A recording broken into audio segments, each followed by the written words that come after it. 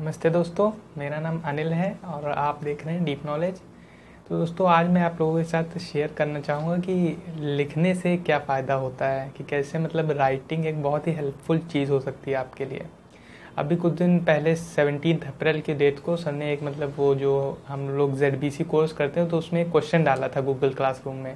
Drift watching का purpose क्या है और ड्रिफ्ट वॉचिंग और ड्रिफ्ट राइटिंग में कोई डिफरेंस है क्या?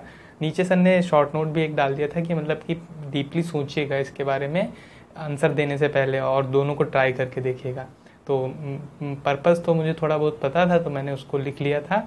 और एक जगह मैं आके फंस गया कि मतलब मैंने देखा मुझे इन्फॉर्मेशन पता है कि अपनी वीकनेसेस को पहचानना है, देखना है कौन से सेंटर थे इसमें और करेक्टिव मेथड अप्लाई करके उनको मतलब दूर करना है। लेकिन फिर मैंने सोचा वीकनेसेस को क्यों दूर करना है? इस पर आके मैं रुक गया तो फिर मैंने उसको क्वेश्चन मार्क डाल के रोक दिया और इन दोनों के बीच में डिफरेंस करने के लिए मैंने दोनों को ट्राई किया। तो मैंने देखा कि मतलब जब हम ड्रिफ्ट वॉचिंग करते हैं तो उसमें ज़्यादा ड्रिफ्ट हो जाते हैं क्योंकि हमारे पास पेन या कॉपी जैसी कोई चीज़ नहीं है जो हमें याद दिलाए कि हम ड्रिफ्ट वॉचिंग कर रहे हैं और ड्रिफ्ट राइटिंग में हो जाता है। तो ये डिफरेंस मुझे पता चल गया था, लेकिन वो वाला क्वेश्चन बचा हुआ था कि वीकनेसेस पे हमें क्यों जीतना है, उनसे हमें मतलब क्यों ऊपर निकल के आना है। तो हुआ क्या कि जब मैं ड्रिफ्ट राइटिंग करने बैठा तो एक मैंने ड्रिफ्ट अपना पकड़ा ईगो से रिलेटेड पड़ोस में एक जगह तेरे ही थी मतलब खाना खाने जाना था तो ऊपर मेरे यहाँ मकान मालिक रहते हैं तो उनका बेटा है, हर्षित नाम है उसका। तो हम सोच रहे थे कि जब वो बुलाने आएगा, तभी हम जाएँगे, वरना नहीं जाएँगे। तो जब मैंने इसको क्लासिफाई किया इस ड्रिफ्ट को कि ये ड्रिफ्ट कहाँ से आ रहा है तो देखा कि ईगो से आ रहा था कि वो बुलाने आए, तभी हम जाएँगे। तो मैंने इसे पकड़ लिया।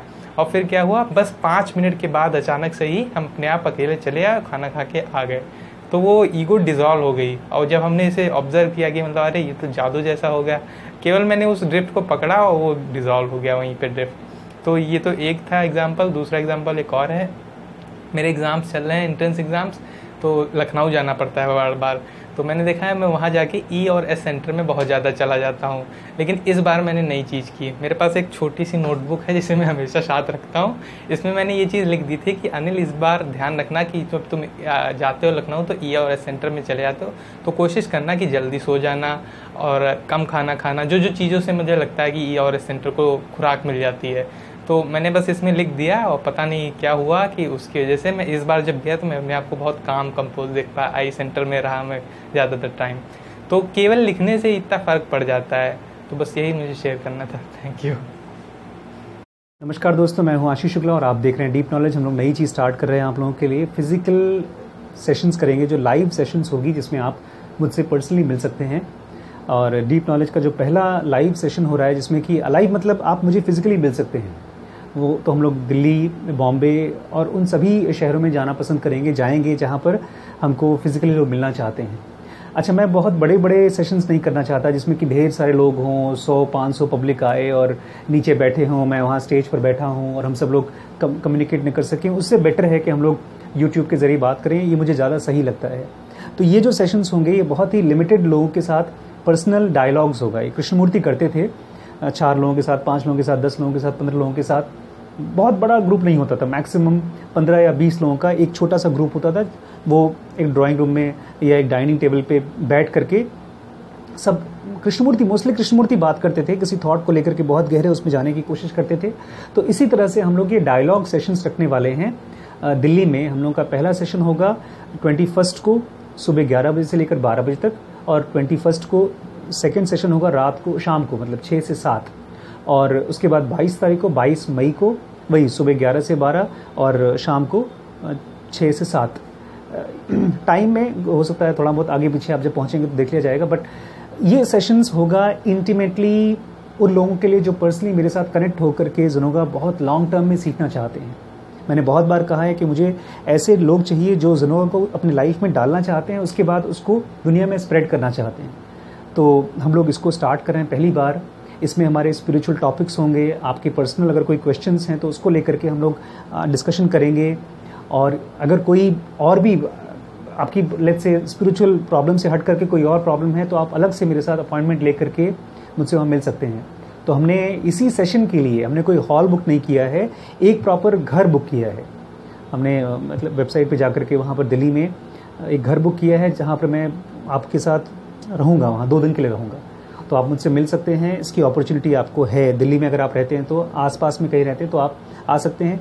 लॉजिंग रहने का वहाँ पर हम लोग आपके लिए फैसिलिटी नहीं दे पाएँगे बिकॉज़ अभी हम उतना बड़ा लेवल पे काम नहीं कर रहे हैं। हो सकता है फ्यूचर में हम लोग रेजिडेंशियल प्रोग्राम्स भी करें, लेकिन वो फ्यूचर में होगा। हम लोग बड़े बड़े करेंगे कोर्स जिसमें लाइव सेशंस करेंगे और सुबह से लेकर शाम तक का मेडिटेशन प्रोग्राम करेंगे फ्यूचर में।